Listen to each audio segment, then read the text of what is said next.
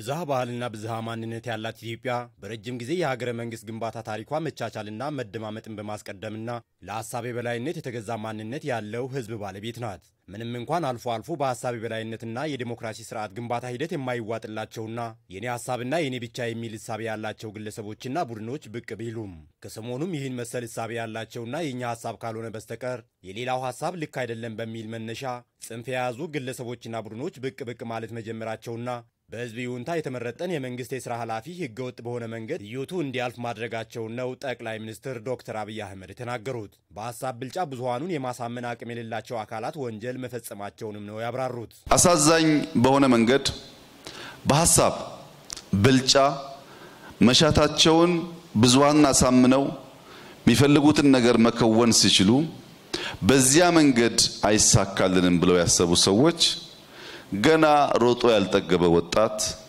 ለህዝቡ ለሀገሩ ብዙ ሊያገለግል የሚችል ልጆች፣ ቤተሰቦች ያሉት በሰላም ቤተሰቡ ሊጠይቅ እየነዳ የሄደ ጀግና መሳይ ፈሪዎች ተደብቀው በጥይት ገደሉት። ይህ አይነት ልምምድ ለኢትዮጵያ አደገኛ ነው። ኖረንበታል። ከዚህ ቀደም በቀይ ሽብር፣ ነጭ ሽብር የሆነው ነገር ይሄ ነው። አሁን ሰው ዝም ብሎ መኪና ውስጥ እየሄደ ገሎ በሰላም መኖር ይቻላል ብሎ ማሰብ ያስቸግራል። ሰው ገሎም ስልጣን ማግኘት ይቻላል ብሎ ማሰብ ያስቸግራል። ጊዜው እንደዛ አይደለም። አሁን ባለንበት ዘመን ሰው በመግደል ስልጣን መያዝ አይቻልም ያሉት ጠቅላይ ሚኒስትሩ ከዛ ይልቅ ገዢ ሀሳብ በማመንጨት ህዝብ ለዛ ሀሳብ ተገዢ እንዲሆን ማድረግ አስፈላጊ ነው ብለዋል። ይህ ሲሆን ስልጣን ማግኘት ይቻላል። ከዚያ ውጭ ግን በኃይል በህዝብ የተመረጠ መንግስትን ለማውረድ የሚሞከር ተግባር የከሰረና መቼም ቢሆን ሊሳካ የማይችል እንደሆነ ገልጸዋል። በዚህ ተግባር ላይ የሚሳተፉ አካላት ከድርጊታቸው እንዲቆጠቡ ማሳስበዋል። ሀያ አንደኛው ክፍለ ዘመን የሚጠይቀው አንደኛ ሀሳብ ማመንጨት ነው። ሀሳብ ለማመንጨት ደግሞ ምቹ ቦታ አለ፣ አላላኬላ መምጣት ነው። ጊዜ ወስዶ ማንበብ ማሰላሰል ነው። ሀሳብ ካመነጩ በኋላ ለብዙሃን ያን ሀሳብ መሸጥ ነው። የተሸጠው ሀሳብ ተቀባይነት ያገኘ እንደሆነ ስልጣንም ሌሎች ፍላጎቶችም በሰላማዊ መንገድ ሊሳኩ ይችላሉ። በመገዳደል፣ በመሰዳደብ፣ በመናናቅ ልናሳካ የምንፈልገው የፖለቲካ ዓላማ የከሰረ ወደ ድል የማይወስድ ስለሆነ በዚህ ጉዳይ ላይ የምትሳተፉ ባለሀብቶች በውጭ ያላችሁ ኢትዮጵያውያን፣ በሀገር ውስጥ ያላችሁ ወጣቶች ደጋግማችሁ እንድታስቡ አደራ አላችሁ ፈልጋለሁ። መንግስት በእንደዚህ መሰል ጉዳዮች ከዚህ ቀደም ያለውን አቋም ይደግማል። ሕግ የማስከበር ኃላፊነቱን ይወጣል።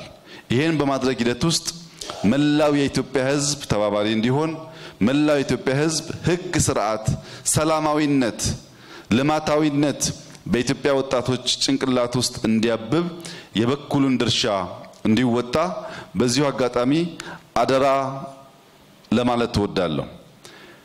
የግርማ የሽጥላ አላግባብ መሰዋት ብልጽግናን እና ዓላማዎቻችንን የሚያቆም ሳይሆን ይበልጥ የሚያበረታ ነው። ብዙዎች ሰውተን የመጣ ነው። ሰማዕታት የምናስብበት የምንዘክርበት ልምምድ ያለን ስብስቦች ነን። ይህንን መስዋዕትነት ይበልጥ መስፈንጠሪያ እናደርገዋለን እንጂ አንሸማቀቅም፣ አንቆምም። በኢትዮጵያ የውስጥ ጉዳይ የሚገቡ የውጭ ኃይሎችም ከድርጊታቸው እንዲቆጠቡ ጠቅላይ ሚኒስትሩ አሳስበዋል። ኮሽ ባለ ቁጥር በኢትዮጵያ ውስጣዊ ጉዳይ እየገቡ መፈትፈት የሚፈልጉ ኃይሎች በተለይም ኢትዮጵያውያን ያልሆኑ ኃይሎች ከድርጊታቸው እንዲሰበሰቡ፣ እንዲቆጠቡ ለማሳሰብ እወዳለሁ። ኢትዮጵያን በማበጣበጥ በማባላት የሚገኝ ትርፍ እንደሌለ አውቀው የእኛን ጉዳይ ለእኛ ትተው በርከት ያለ ያልሰሩት ጉዳይ ስላላቸው ስራዎቻቸውን በምድራቸው ላይ መስራት እንዲችሉ የእኛን ጉዳይ ለእኛ መተው እንዲችሉ ማሳሰብ እፈልጋለሁ።